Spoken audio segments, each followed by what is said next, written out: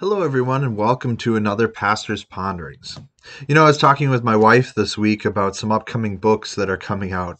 She and I are both uh, a bit of a bookworm. She, she's more of a bookworm than, than I am, but who doesn't enjoy a, a great story? Right, sitting down and, and, and reading this compelling tale of of uh, that catches your attention and holds um, and, and, and holds you so tightly you can't put the book down. Um, there's just something so compelling about it.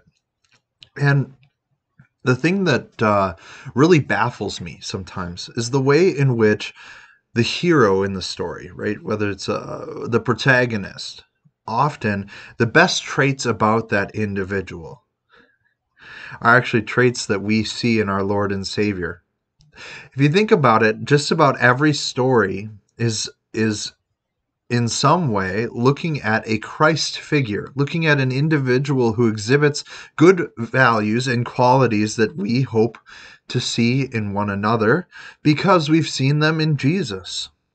Jesus teaches us how to live. He teaches us what it means to live a virtuous and good life. And we love to see that in ourselves and in other people. To be generous and loving, to be create, courageous, um, to uh, do amazing things, and to show love in, in so many situations.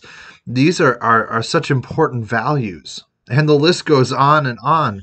Um, but whether you're talking about uh, superheroes from from comic books to uh, uh, amazing heroes in fantasy novels, or you know, in whatever whatever else you are reading, look for those traits. Look for those things that that excite you, and, and see the ways in which they really mirror Jesus. And in all things, we ought to be doing the same. Those values and those uh, and those key virtues that our heroes live by are often the ones that Jesus lived by and the ones that we ought to live by too. So go out there and be the hero of, of, your life, the hero that God has made you to be. Be the man or woman that God has created you to be and go and live out those virtues well. Make him proud. Go in his peace, everyone. Take care.